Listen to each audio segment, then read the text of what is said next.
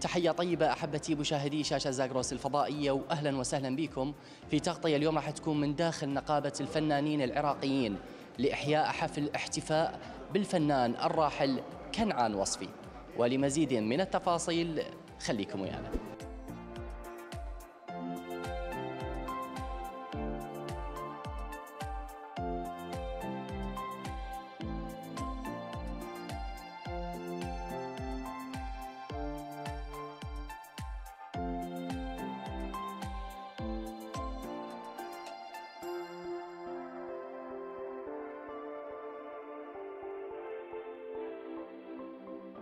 تقيم آه، اليوم نقابة الفنانين العراقيين المركز العام في بغداد.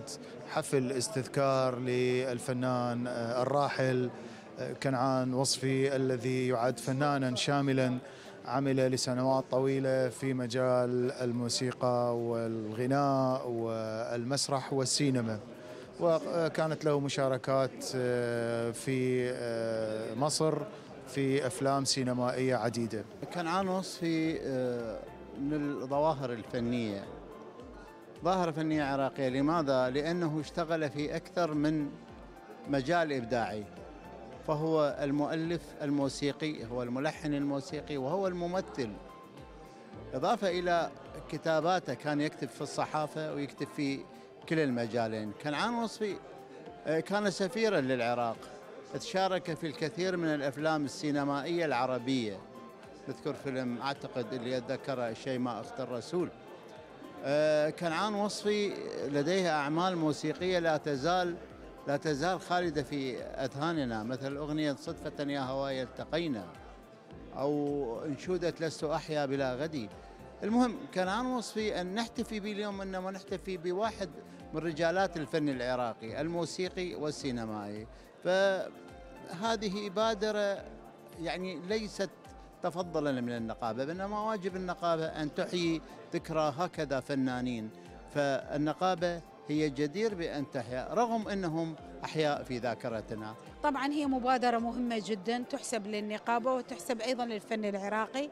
الاحتفاء بعلم من أعلام الفن العراقي الراحل كنعان وصفي أنا أعتبره بمثابة نشان انتصار للفن العراقي. بعد هذه المرحلة العصيبة اللي مر بها العراق أبان التحول الديمقراطي.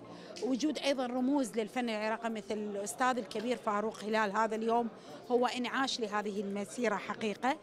ونأمل أن تستمر هكذا. أنشطة الاحتفاء بالرواد باللي تركوا بصمة مهمة على صعيد الدراما والسينما العراقية والفن العراقي بأسرة أهم لأن هو هذا الدافع المعنوي والدافع أيضا الفني للاستمرار بالإنجاز وأيضا نوعية الإنجاز لأن اليوم أنت تتطرق لعمالقة وعلامة في هذا الجانب وبالتالي هي آه، فعلا مناسبة تنتصر لرقي الفن العراقي ممثلا بالراحل كنعان وصفي. يوم احتفالية للراحل كنعان وصفي. آه، طبعا إحنا إحنا مو بس يعني الفنانين يعني قصد الممثلين الوسط الفني. الوسط الفني أجمع يكون موجود بنقابة الفنانين. ليش؟ لأن كل احتفال لازم الفنان العراقي يكون موجود. ليش؟